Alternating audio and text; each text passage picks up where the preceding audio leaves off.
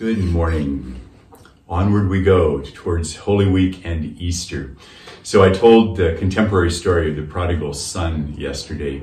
It obviously touched a deep emotional place for a lot of us. I had a bit of a hard time reading it myself uh, when I first stumbled on that again after having not heard it for literally 45 years it's like, oh wow, uh, it touched me then and it touched me deeply again um, as I was reading it, preparing the last several weeks, and then as I proclaimed it this weekend.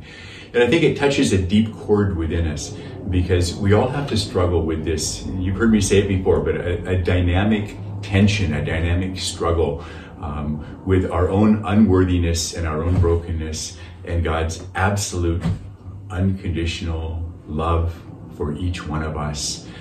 Um, we know that we're not perfect. God knows that we're not perfect.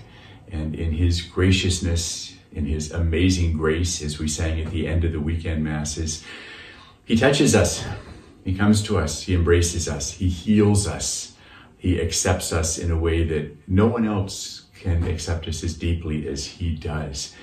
And somehow that's exactly and precisely what enables us to go out and to be more merciful, more understanding of other people's brokenness, more patient with ourselves. It has to start here, um, but also with our loved ones, uh, with people that we find challenging or difficult.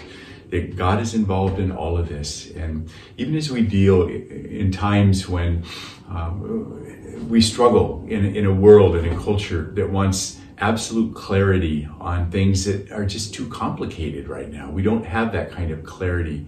Um, in my own faith, which, as you know, I take very seriously, and I would say my faith is strong.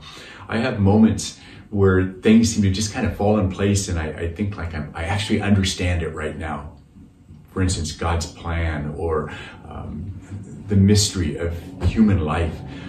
And then it kind of turns back into fog, you know, and it gets all fuzzy again. And I think that's human experience, this side of the kingdom of God.